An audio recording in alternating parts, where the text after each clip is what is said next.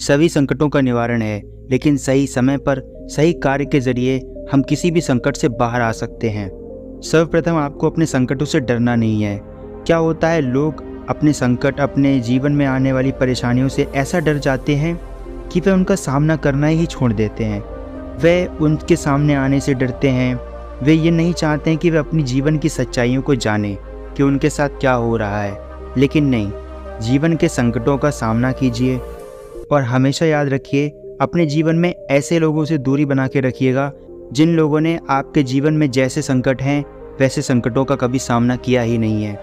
अगर आप ऐसे लोगों से अपने जीवन के लिए राय लेंगे, अगर आप ऐसे लोगों पे अपने जीवन को निर्भर कर देंगे कि वो मेरे जीवन में कुछ बदलाव कर दें तो ऐसा कुछ नहीं हो सकता। आपको अपने जीवन की ज़िम्मेदारी खुद लेनी पड़ेगी। आपको उन लोगों से राय नहीं लेनी है जिनका खुद का कोई वजूद नहीं है। जिन्होंने अपने जीवन में कुछ भी नहीं कर पाया। और रही बात संकट से निकलने की तो उसका एकमात्र सूत्र है, खुद पर विश्वास करना।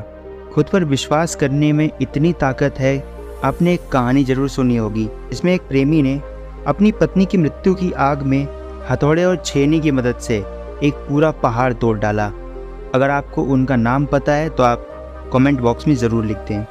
अब आप सोचो कि ये चीज़ जो कई लोगों के लिए भी करना मुमकिन नहीं है, एक इंसान ने सिर्फ़ अपने ऊपर विश्वास रख कर और अपने बदले की आग में जलकर उस विशाल पहाड़ को तोड़ डाला।